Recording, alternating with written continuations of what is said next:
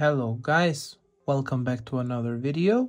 Today we are going to take a look at Samsung Galaxy A34 5G. This is a new mid-range phone from Samsung. I bought this phone locally for the price of around 330 euros or the equivalent of 350 US dollars. As you can see here, I have the version with 8 gigabytes of RAM and 128 gigabytes of storage the color name is Awesome Lime.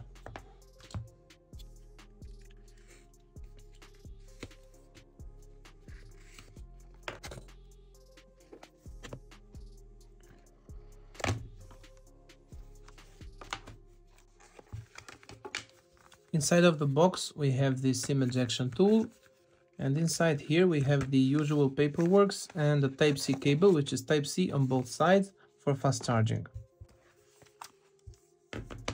nothing else on the box. And as you can see the back panel reflects the light. Very nice. Here on the back we have a triple camera setup the LED flashlight. Here on the right side we have the volume buttons and the power button. Here on the bottom we have the speaker the charging port type C charging port and the microphone. The left side is clean and here on the top we have another microphone and the SIM tray. Let me check the SIM tray. Here we see that we have place for two SIMs at the same time or one SIM and one SD card for expandable storage. Also we have the rubber surrounding. Here we have the front facing camera now let's turn on the phone and let me skip through the menu real quick.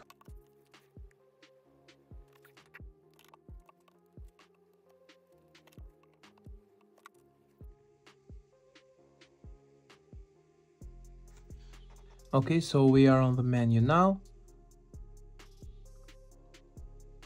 We have the toggles here.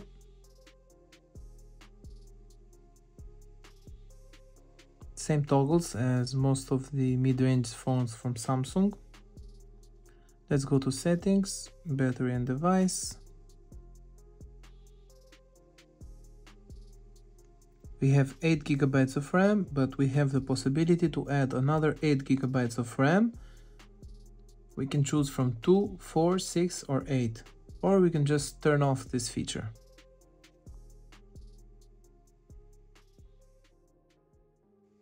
The phone started its life at One UI 5.1, which is based at Android 13.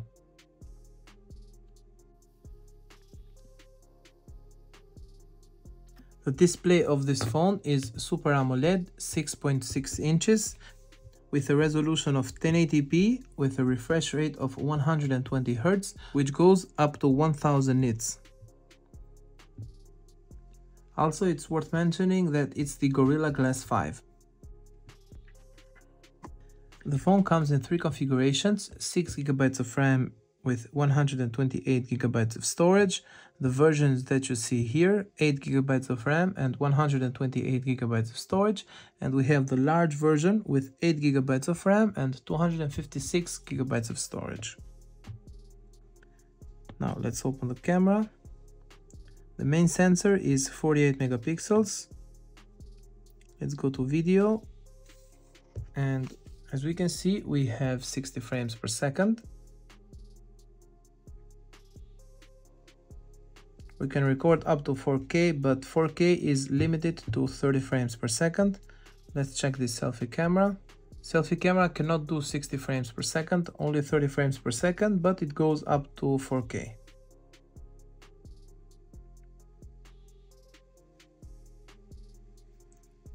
While recording on 60 frames per second full HD we can zoom up to 10 times. Let's go to photo. 48 megapixels we cannot zoom in in this mode but if we go on 3x4 we can go from 0.5 up to 10x we have fun portrait photo video and more. Here on more we see that we have pro Pro Video, Single Take, Night, Food, Panorama, Macro, Super Slow Motion, Slow Motion and Hyperlapse. We also have Super Steady mode, as you can see I've turned it on, but it's limited to Full HD 30 frames per second. The battery of this phone is 5000 mAh and it's limited up to 25 watt wired charging. We don't have wireless charging on this phone. Also, it's worth mentioning that the back of this phone is plastic. It feels good in hand, it feels solid, but still the back panel is plastic. On the camera I mentioned only the main sensor which is 48 megapixels but we have another 8 megapixel ultra wide camera and another 5 megapixel macro camera. The front facing camera it's 13 megapixels. The chipset on this phone is the MediaTek Dimensity 1080 6 nanometers which is clocked at 2.6 GHz. The GPU is Mali G68. The phone has a weight of 200 grams, 199 grams to be specific. Now as you can see I don't have any app installed on the phone, just the default apps, Facebook, some Google apps, etc. Let me install a few apps and I will come back for a second part. Okay, we're back. As you can see, I've installed a few apps and a few games on the phone. Actually, Asphalt 9 and PUBG Mobile are heavy games and remember this is a mid-range phone. Now let's open Asphalt 9 and check the phone's performance and see if it will lag or not.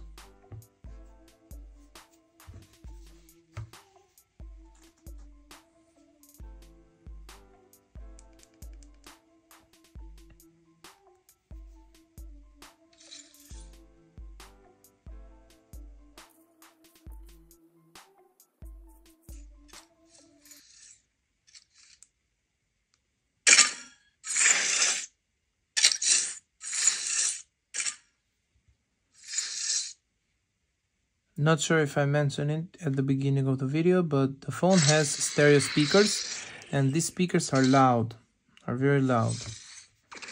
One speaker here on the bottom and one speaker here on the top. Now let's play the game.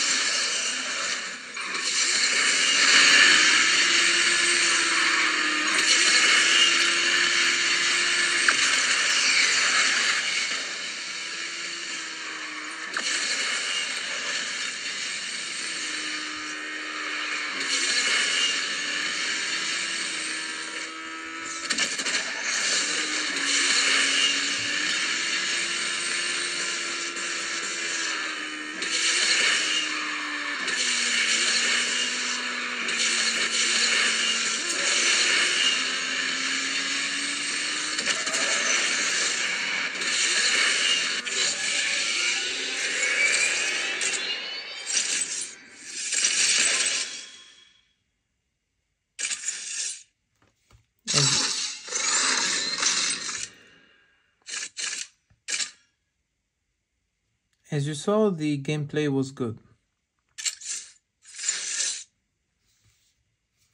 Now let me open PUBG and just check the graphics of the game.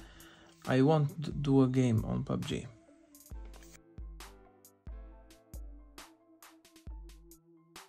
On graphics we see that we can play up to HDR, Ultra, but if we go on smooth we have extreme. So basically we can play 60 FPS PUBG on the A34.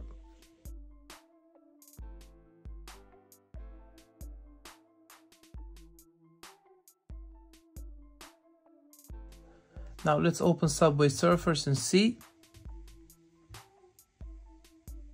No lag, absolutely no type of lag. The gameplay is good. Remember, usually if a phone is bad or it has bad optimization, the phone will lag when Subway Surfers is at the beginning of the game. But as you can see so far, no lag, nothing.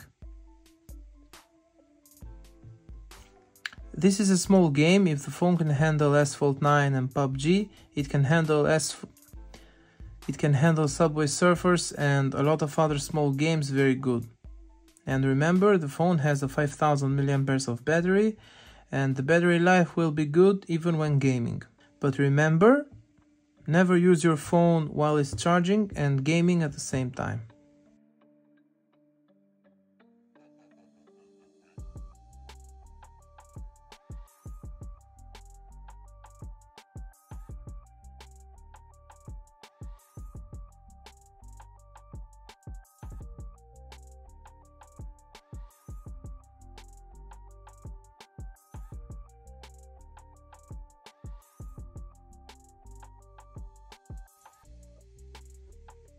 So we don't have nothing to see here. Actually the gameplay is good and you won't experience any lag. Now let's test the gorgeous display of the A34 and the speakers.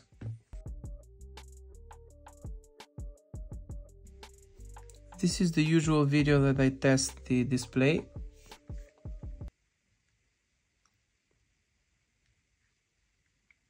Let's check the video quality. We can go let's say up to 4k but we don't have HDR still the video looks good though. This is a super AMOLED display with a resolution of 1080p and is very bright goes up to 1000 nits. The viewing angles are very nice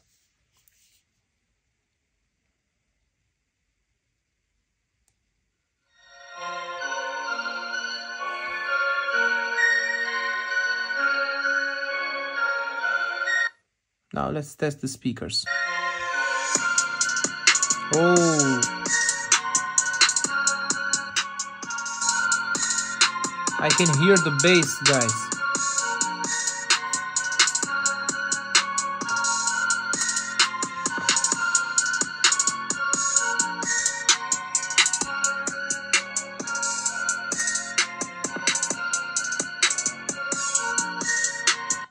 Okay, keep in mind the speaker is right here.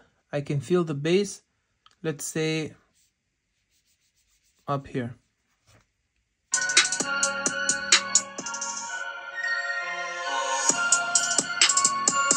Yeah, I can feel the bass here.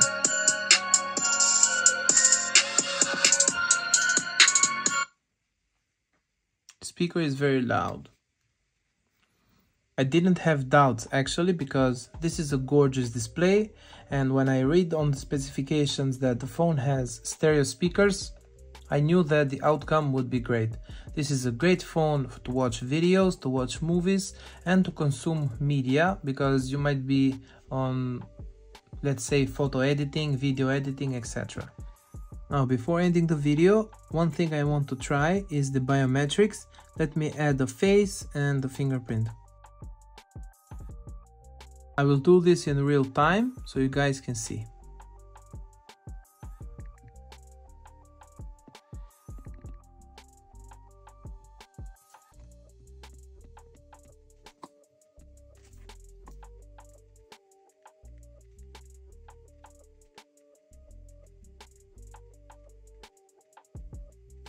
Okay, so fingerprint added and for demonstration purposes only, I only will be using one finger.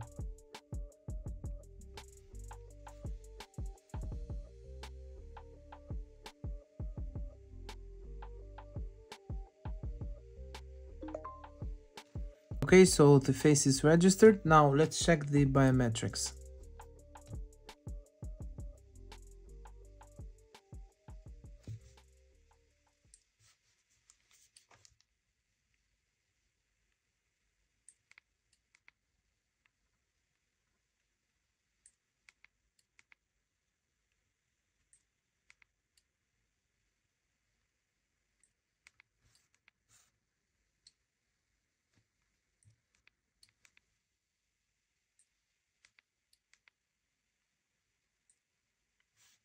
Okay, the biometrics work, not the fastest in the world, but they get the job done.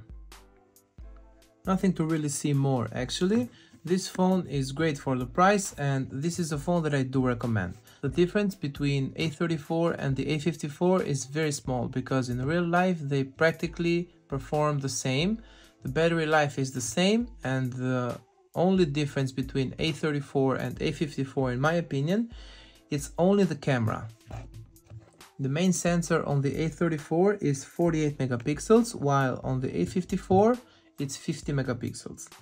The selfie camera on the A34 is 13 megapixels, while on the A54 it's 32 megapixels, but the difference is that the A54 can also do 60 frames per second.